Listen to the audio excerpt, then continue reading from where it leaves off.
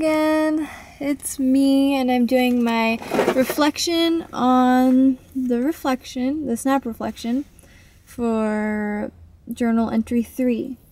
So here I'm talking about um, Caitlin and her creative way of using the word Gidget, which was initially Lisa Boys's. Um, she, it was written down in addressing Lisa Boys's dog, Gidget, who's a bulldog. But we were like, okay, what are some other ways we could take this word? And we researched and found um, an actress named Gidget, was a, and it was a really creative response to handling the word. And I was really impressed with um, Caitlin's way of thinking creatively and outside of the box.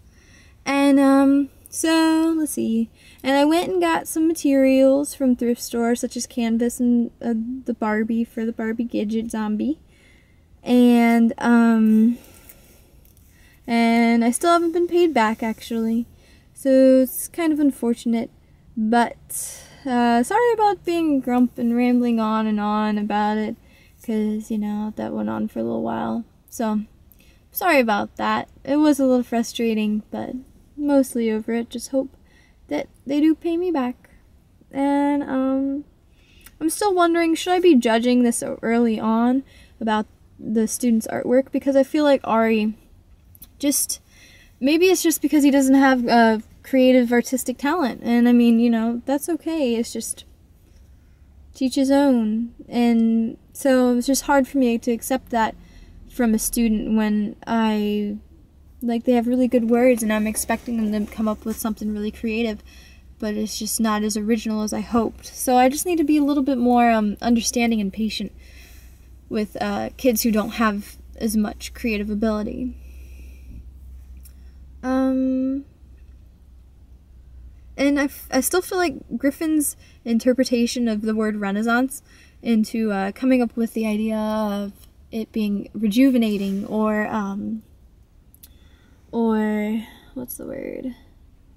Uh, just life. And I just think it's really creative what he did. It's kind of like with the zombie Gidget. She just came up with a really original way of how to attack the word zombie, just like Griffin came up with the word, the way of attacking Renaissance. And Nandita came that day, and I do wish that she had participated more and put in more input on how um, how she thought I was really doing, or maybe gave me suggestions. Maybe um, I don't. She doesn't have as much experience in teaching as me. I don't know, and so maybe you know maybe she just didn't know what to say.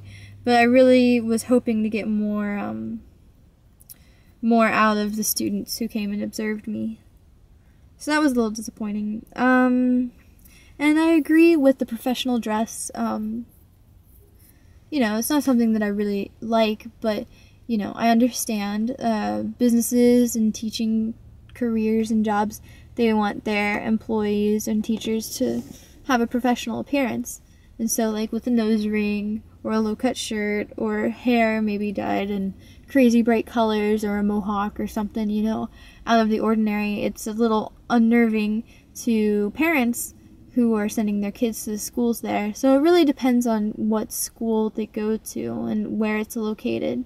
But I just understand that much better now. And even though I would prefer not to go to a school that has strict rules like that, um, you know, I realize I have to abide by them. Um,